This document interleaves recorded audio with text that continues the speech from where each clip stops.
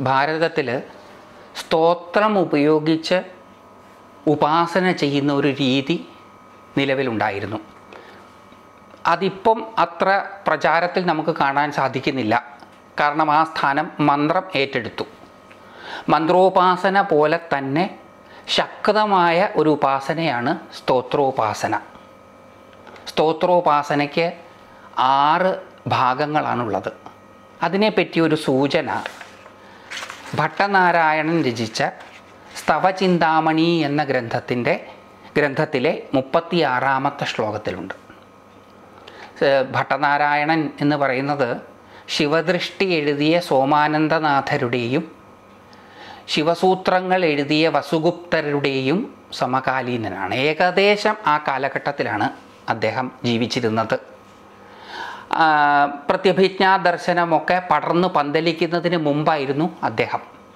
അദ്ദേഹം രചിച്ച ഒരു ശിവസ്തുതിയാണ് സ്തവചിന്താമണി.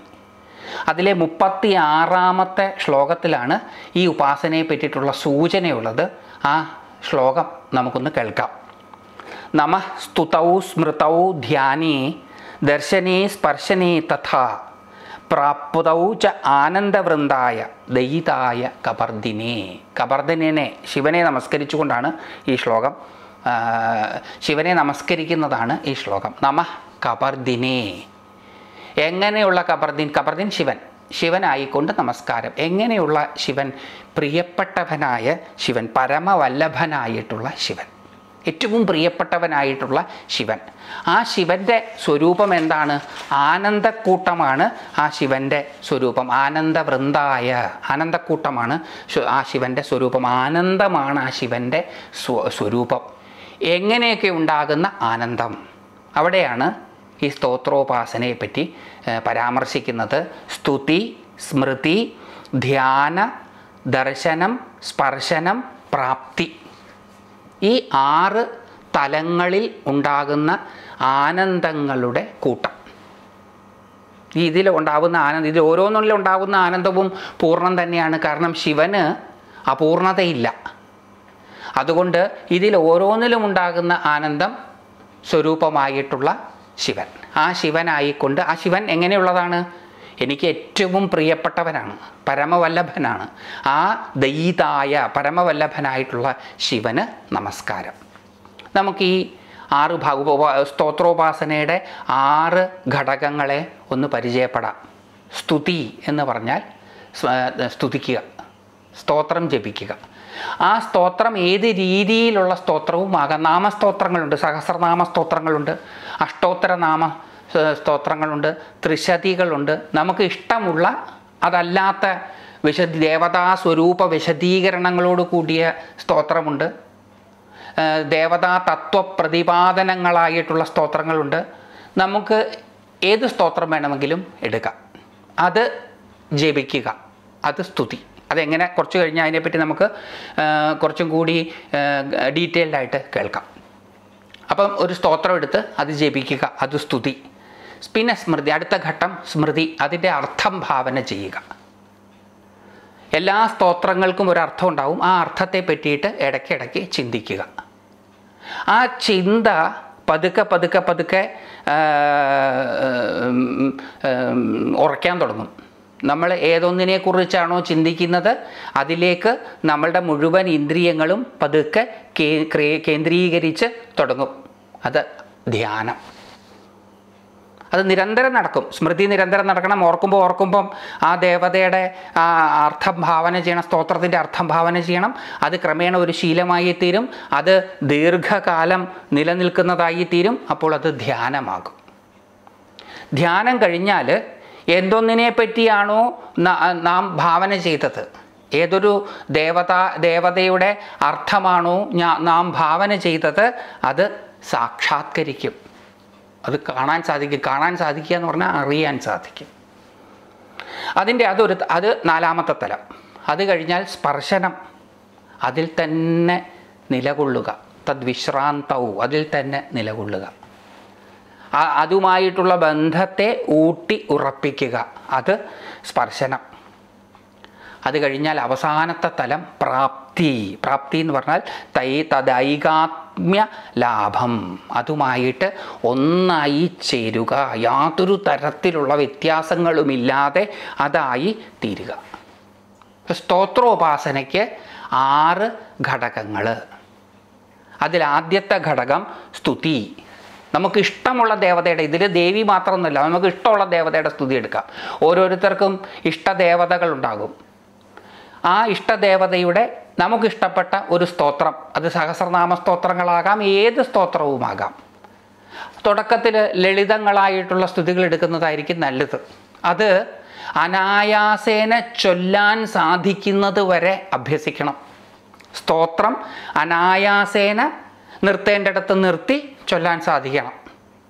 അത് ആദ്യത്തെ തലം. ആദ്യ ആദ്യത്തെ അഭ്യാസം അത്. അത് കഴിഞ്ഞാൽ അതിന്റെ അർത്ഥം മനസ്സിലാക്കി അത് ചൊല്ലാൻ തുടങ്ങണം. കുറച്ചു കാലം അങ്ങനെ അഭ്യസിച്ച് കഴിയുമ്പോൾ ചൊല്ലുമ്പോൾ തന്നെ നമുക്ക് ആ സ്തോത്രത്തിന്റെ അർത്ഥം മനസ്സിലായി തുടങ്ങും. ഏതുപോലെ ഇപ്പം ഞാൻ സംസാരിക്കുമ്പോൾ എനിക്ക് ഞാൻ ഉപയോഗിക്കുന്ന വാക്കുകൾ ഉച്ചരിക്കുന്ന മാത്രയിൽ തന്നെ മനസ്സിലാകുന്നത് പോലെ. ഇത് കേൾക്കുമ്പോൾ കേൾക്കുന്ന മാത്രയിൽ നിങ്ങൾക്ക് മനസ്സിലാകുന്നത് പോലെ. അതുപോലെ സ്തോത്രം ചൊല്ലണം. അതിന്റെ അർത്ഥം അറിഞ്ഞുകൊണ്ട്. അങ്ങനെ നമ്മൾ കുറച്ച് കാലം അഭ്യസിക്കണം. അപ്പോഴാണ് നമുക്ക് ഇത് ഇഴുകിത്തീരുക എളുപ്പം സംസ്കൃതം അത്ര വഴങ്ങാത്തവർക്ക് എളുപ്പം ഭാഷാസ്തോത്രങ്ങൾ ഉപയോഗിക്കുക എന്നുള്ളതാണ്. എല്ലാ ഭാഷയിലും നല്ല സ്തുതികളുണ്ട്. മലയാളത്തിൽ പൂന്താനത്തിന്റെ ജ്ഞാനപ്പാനയുണ്ട്. എഴുത്തച്ഛന്റെ ഹരിനാമകീർത്തനമുണ്ട്. അങ്ങനെ പല പല നല്ല സ്തുതികളുമുണ്ട്. ഇഷ്ടമുള്ള സ്തുതികൾ എടുക്കാം. അതിന്റെ അർത്ഥം മനസ്സിലാക്കിക്കൊണ്ട് അത് ചൊല്ലണം. അങ്ങനെ ചൊല്ലി അത് ശീലമായി കഴിഞ്ഞാൽ പിന്നെ സ്മൃതി രണ്ടാമത്തെ തലം. ഇത് ഒരുമിച്ച് ചെയ്യാം. പക്ഷെ ഞാനിത് ഓരോന്ന് വെവ്വേറെയായിട്ട് പറയുന്നു എന്ന് മാത്രം. തദർത്ഥഭാവനം. എന്തൊന്നാണോ ചൊല്ലുന്നത് അതിന്റെ അർത്ഥം ഭാവന ചെയ്യുക. ഇടയ്ക്ക് ഇടയ്ക്ക് ഇടയ്ക്ക് ഇടയ്ക്ക് ഇടയ്ക്ക് ഭാവന ചെയ്യണം. സ്മൃതി എന്ന് പറഞ്ഞാൽ പെട്ടെന്ന് നമ്മുടെ ഓർ നമുക്ക് നമ്മളെപ്പോഴാണ് ഓർക്കുക? ആകസ്മികമായി പെട്ടെന്ന് ഓർക്കുക. അങ്ങനെ എപ്പോഴൊക്കെ ഈ സ്തുതി നമ്മളുടെ ഓർമ്മയിലേക്ക് വരുന്നുണ്ടോ? അപ്പോഴെല്ലാം അതിൽ പ്രതിപാദിക്കുന്ന അർത്ഥത്തെ ഭാവന ചെയ്യണം.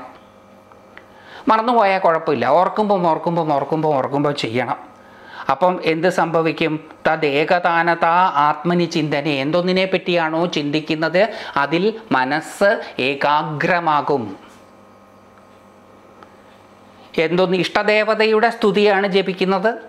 അപ്പം ആ അതിന്റെ അർത്ഥഭാവനം ഇഷ്ടമുള്ളതാണ്. അത് ഇടയ്ക്ക് ഇടയ്ക്ക് ഇടയ്ക്ക് ഇടയ്ക്ക് ചെയ്തുകൊണ്ടിരുന്നാൽ ആ അർത്ഥഭാവനയിൽ മനസ്സിൽ ചിന്തിക്കുന്നതിൽ ഇന്ദ്രിയങ്ങൾ ഏകതാനമാകും ഏകാഗ്രമാകും. ഇന്ദ്രിയങ്ങൾ ഏകാഗ്രമാകുന്നത് ധ്യാനം. സ്തുതി സ്മൃതി ധ്യാനം. അങ്ങനെ കുറച്ച് കാലം മുന്നോട്ട് പോയി കഴിഞ്ഞാൽ ദർശനം തദനന്തരഭാവിനി സാക്ഷാത്കാരം. ഈ ധ്യാനത്തിന്റെ അനന്തരം സംഭവിക്കുന്ന സാക്ഷാത്കാരം ആ ദേവതയെക്കുറിച്ചിട്ടുള്ള പൂർണമായ അറിവ്. ദർശനം എന്ന് പറഞ്ഞാൽ കാണുക എന്നർത്ഥം. കാണലാണ് ദർശനം. ദർശിക്കുക എന്ന് പറഞ്ഞാൽ കാണുക. അന്ന് എന്ന് പറഞ്ഞാൽ അറിയുക.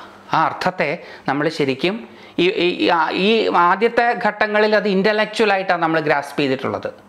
ഈ ദർശനം എന്ന് പറഞ്ഞ തലത്തിലേക്ക് എത്തുമ്പോഴത്തേക്കും അത് ഇന്റ്യൂട്ടീവായിട്ട് പ്രചോദിതമായിട്ട് ഉള്ളുകൊണ്ട് നമ്മളത് അറിയും. അപ്പം ആ ഈശ്വരനെ നമ്മൾ അറിയും.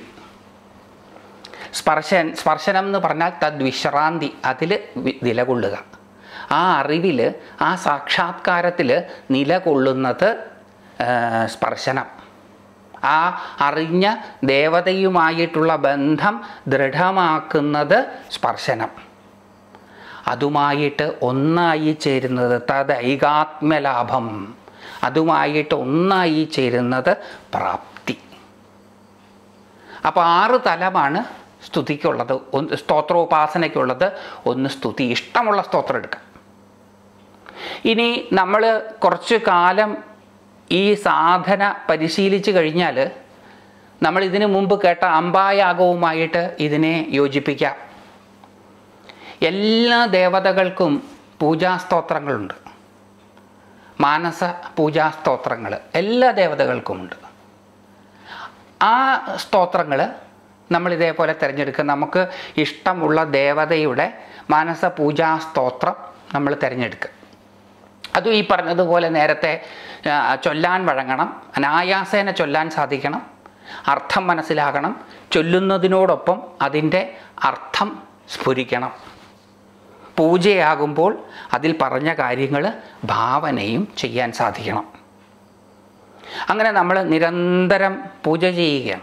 മനസ്സിൽ ചെയ്യുന്നതാണ് ഏറ്റവും ഉയർന്നത്. ഇതിന് നമുക്ക് വേറെ പഠനമൊന്നും ആവശ്യമില്ല. ഇത് ഏറ്റവും ശ്രേഷ്ഠമായ ഒരു രീതിയുമാണ്. ഈ രീതിയിൽ പൂജിക്കാൻ നമുക്ക് സാധിക്കുകയാണെങ്കിൽ മനസ്സിൽ മാനസപൂജാ സ്തോത്രം കൊണ്ട് ചെയ്തു ചെയ്തുകൊണ്ട് പൂജിക്കാൻ സാധിക്കുകയാണ് എന്ന് വിചാരിക്കുക. പതിനാറ് ഉപചാരങ്ങളോട് കൂടിയ പൂജയുണ്ട് പഞ്ചോപചാരങ്ങളോട് കൂടിയ പൂജയുണ്ട് ചതുഷ്ഷഷ്ടി ഉപചാരങ്ങളോട് കൂടിയ പൂജയുണ്ട്. ഇതിലേത് വേണമെങ്കിലും നമുക്ക് ചെയ്യാം അങ്ങനെ ചെയ്യാൻ സാധിച്ചു എന്ന് വിചാരിക്കുക. നമുക്ക് ഇഷ്ടമുള്ള ക്ഷേത്രത്തിന്റെ ശ്രീകോവിലിനകത്ത് കയറിയിരുന്ന് ആ ദേവതയെ പൂജിക്കാം. അതിന് നമുക്ക് വേറെ ആരുടെയും അനുവാദമൊന്നും വേണ്ട. ഗുരുവായൂർ ശ്രീലകത്ത് കയറിയിരുന്ന് ഗുരുവായൂരപ്പനെ പൂജിക്കാം. ചോറ്റാനിക്കര ശ്രീലകത്ത് കയറി മനസ്സിൽ മനസ്സുകൊണ്ട് കയറി ഇരുന്ന് ചോറ്റാനിക്കര അമ്മയെ പൂജിക്കാം. മൂകാംബിക ശ്രീലകത്ത് കയറിയിരുന്ന് മൂകാംബികാ ദേവിയെ പൂജിക്കാം. തിരുപ്പതി ശ്രീലകത്ത് കയറിയിരുന്നു കൊണ്ട് പഴനി ശ്രീലകത്തിൽ കയറിയിരുന്നു കൊണ്ട് കാഞ്ചി ശ്രീലകത്ത് കയറിയിരുന്നു കൊണ്ട് നമുക്ക് അതാത് ദേവതകളെ പൂജിക്കാം. അപ്പോൾ നമുക്ക് ഇത് വിസ്തരിച്ച് ഒരു പൂജയും ആക്കി തീർക്കാം. മനസ്സുകൊണ്ട് അത് മുഴുവൻ ഭാവന ചെയ്ത് ആ ദേവതയെ പൂജിക്കാം. അതല്ല എങ്കിൽ സ്തോത്രം അർത്ഥബോധത്തോടു കൂടി ജപിക്കാം. അത് നമുക്ക് പൂർണമായിട്ടും ശീലമായി കഴിഞ്ഞാൽ അങ്ങനെ ചെയ്യുമ്പോൾ തന്നെ ഒരു സന്തോഷം ഉണ്ടാവും.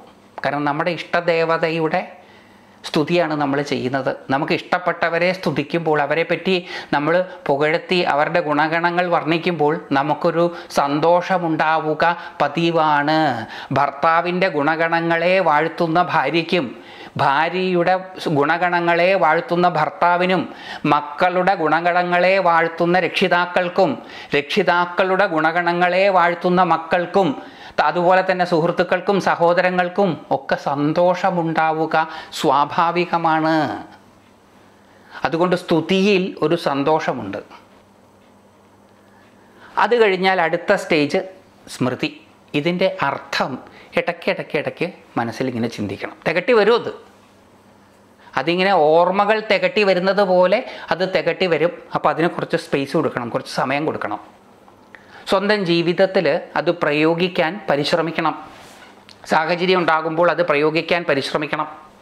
അങ്ങനെ അത് ചെയ്ത് മുന്നോട്ട് പോകുന്നത് സ്മൃതി. അതിൽ മനസ്സ് ഉറയ്ക്കുന്നത്. വേറൊന്നിലേക്കും വ്യതിചലിക്കാതെ അർത്ഥഭാവനയിൽ മനസ്സുറയ്ക്കുന്നത് ധ്യാനം. ഇതൊക്കെ സന്തോഷത്തെ ജനിപ്പിക്കുന്നതാണ്. ഇങ്ങനെ നീ കുറച്ചു കാലം സ്തുതി സ്മൃതി ധ്യാനം ഇത് കുറച്ച് കാലം ചെയ്ത് മുന്നോട്ട് പോകുമ്പോൾ നമ്മൾ അടുത്ത തലത്തിലേക്ക് എത്തും ആ അർത്ഥ സാക്ഷാത്കാരം. ആ ദേവതയുടെ ദർശനം ദേവതയെ ശരിക്കും ഇന്റ്യൂട്ടീവായിട്ട് അറിയുക. അത് ആ ആ ദേവതയുടെ സാക്ഷാത്കാരം ദർശനം. ദർശനം എന്ന് പറഞ്ഞാൽ അറിയുക. കാണുക എന്നാണ് അർത്ഥം. കാണുക എന്ന് പറഞ്ഞാൽ അറിയുക. പിന്നെ അങ്ങനെ നമ്മൾ ആ ദർശനം അറിഞ്ഞു കഴിഞ്ഞാൽ ഇന്റ്യൂട്ടീവായിട്ട് നമ്മൾ അതിനെ സാക്ഷാത്കരിച്ചു കഴിഞ്ഞാൽ ആ അർത്ഥതലത്തെ സാക്ഷാത്കരിച്ചു കഴിഞ്ഞാൽ സ്പർശനം അതിൽ തന്നെ നിലകൊള്ളുക. ആ സാക്ഷാത്കരിക്കപ്പെട്ട അറിവിന്റെ നിറവിൽ നിലകൊള്ളുക. അത് സ്പർശനം. അതുമായിട്ടുള്ള ബന്ധത്തെ ദൃഢീകരിപ്പിക്കൽ അത് കുറച്ച് കാലം ചെയ്ത് മുന്നോട്ട് പോകുമ്പോഴാണ് തദൈകാത്മ്യ ലാഭം. അതുമായിട്ട് ഒന്നായി ചേരൽ പ്രാപ്തി. അങ്ങനെ അതുമായിട്ട് ഒന്നായിട്ട് ചേരും. അപ്പോൾ അഭേദ തലത്തിലേക്ക് നമ്മളെ കൊണ്ടുചെന്ന് എത്തിക്കാൻ അതിന് സാധിക്കും. ക്ഷേമരാജൻ പറയുകയാണ് ലൗകികോപി ദയിത സ്തുത്യാദിഷു പ്രാപ്തി പര്യന്തേഷു ക്രമേണ അധികാധികം സുഖയതി. ഇത് ലൗകിക കാര്യങ്ങളിലും അതുപോലെ തന്നെയാണ്. കാമുകി കാമുകന്മാർ തമ്മിലും ഇങ്ങനെ തന്നെയാണ്. അവർ പരസ്പരം കാണുമ്പം അവരുടെ ഗുണഗണങ്ങളെ പറ്റി വാഴ്ത്തി പറയും അങ്ങനെ വാഴ്ത്തി പറയുമ്പോൾ ഒരു സന്തോഷം ഉണ്ടാവും.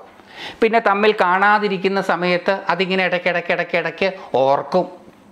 അപ്പോഴും ഒരു സന്തോഷം ഉണ്ടാകും കാമുകി കാമുകനെ ഓർക്കുമ്പോഴും കാമുകൻ കാമുകിയെ ഓർക്കുമ്പോഴും ഒരു സന്തോഷം ഉണ്ടാകും പിന്നെ അതിങ്ങനെ നിരന്തരമായിട്ട് ആ സ്മരണ നിലകൊള്ളുക. അത് ധ്യാനം. അത് കഴിഞ്ഞാൽ പരസ്പരം കാണുക. പരസ്പരം ആലിംഗനാദികൾ ചെയ്യുക സ്പർശിക്കുക. പരസ്പരം ഒന്നായി തീരുക ഇതിൽ ഓരോന്നിലും ലൗകിക കാര്യമായതുകൊണ്ട് ഓരോന്നിലും മറ്റൊന്നിന് സ്തുതിയേക്കാൾ ആനന്ദം സ്മൃതിക്ക് സ്മൃതിയേക്കാൾ ആനന്ദം ധ്യാനത്തിന് ധ്യാനത്തേക്കാൾ ആനന്ദം ദർശനത്തിന് ദർശനത്തേക്കാൾ ആനന്ദം സ്പർശനത്തിന് സ്പർശനത്തേക്കാൾ ആനന്ദം പ്രാപണത്തിന്. പക്ഷേ പരമേശ്വരനെ സംബന്ധിച്ചിടത്തോളം പരമമായതിനെ സംബന്ധിച്ചിടത്തോളം ഇത് ബാധകമല്ല. അതിൽ അതിൽ ഏറ്റക്കുറച്ചിലില്ല. ഭഗവാനെ സംബന്ധിച്ചിടത്തോളം ഏറ്റക്കുറച്ചിലില്ലാത്തത് കൊണ്ട് ഇതിൽ ഓരോന്നിലും ഉണ്ടാകുന്ന ആനന്ദം പൂർണം തന്നെ ആണ്. എളുപ്പം ആർക്കും ചെയ്യാവുന്ന ഒരു സാധന. ഇതിന് പ്രത്യേകിച്ച് ഉപാസനയൊന്നും വേണ്ട.